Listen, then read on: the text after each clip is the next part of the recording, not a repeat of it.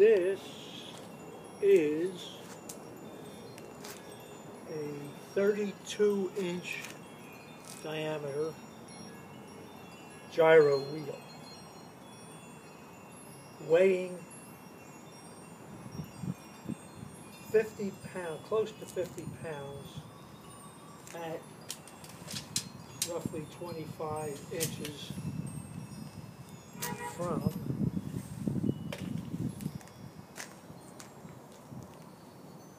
the pivot point.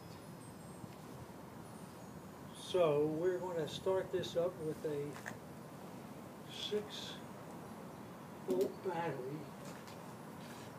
which barely spins this thing. It's equal to this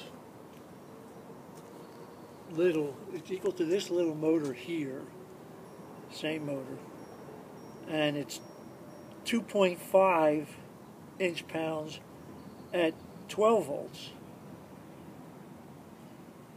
So we put 6 volts onto this and it takes nothing to stop it. It's just no visible torque. So now you can figure out that this is close to 1200 inch pounds.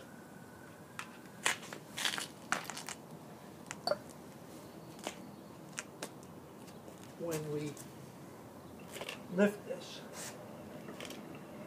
So we're spinning up. And we will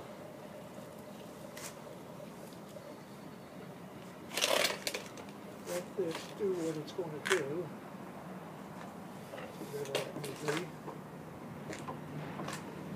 So we're actually torquing up this 1200 inch pounds with a motor rated at 2.5 at 12 and we're putting 6 volts in. Now, if this is conservation of energy or whatever,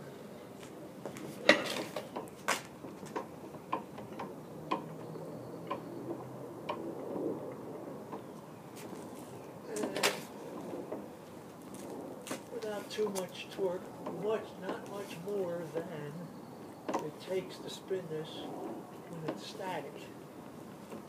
We can end up angling this up.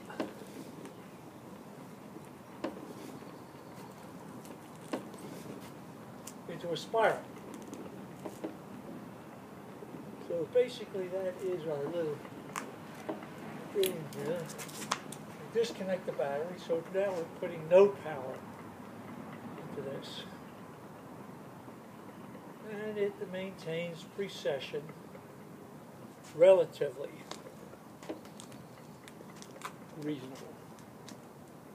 But the point is that we're doing 1,200 inch pounds of work with a spinning wheel driven by a motor that's only capable of putting out really half of 2.5 uh, inch pounds.